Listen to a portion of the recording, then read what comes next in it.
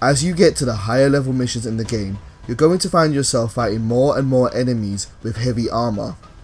This can become a real problem as many standard weapons won't deal sufficient damage to them.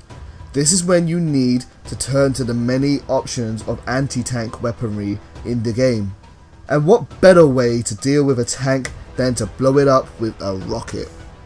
Hey, I'm Sean Arnold, and you're watching Double Freedom, and this is Stratagem of the Day.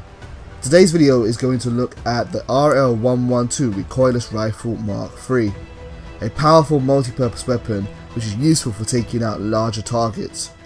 The RL-112 can only hold one rocket at a time, so it comes with a backpack containing additional ammunition. When upgraded to level 3, it gains a laser sight, which is useful for aiming at those critical points, and ignores armor, punching a hole right through anything that's standing in your way. Sounds amazing, right?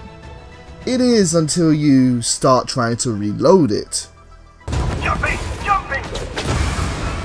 Reloading!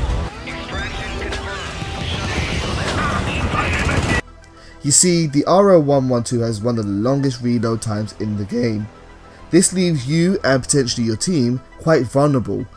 Surely there must be a way to get around this. Emblos TIX and Victor Jean 2001 explained that the best way to use this weapon is to take advantage of its assisted reload function. Stand by. Equipment on its way. Affirmative. The recoilless rifle is great as long as people know about the assisted reload, but I feel like nobody even bothers reading the encyclopedia when they start playing. If two people take the recoilless, they should stand close to each other and press X for a much quicker reload. Whoa, thanks guys! Honestly, I had no idea how to make this weapon useful.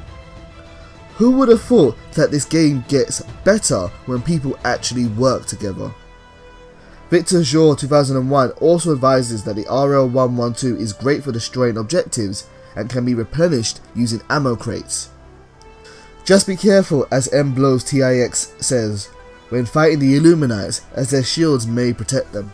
If you do find yourself having to use this weapon solo, do make sure that you go to a safe spot and that you are out of harm's way and that you're doing it at a time when you're not going to hold up your team. So guys, that's been today's video.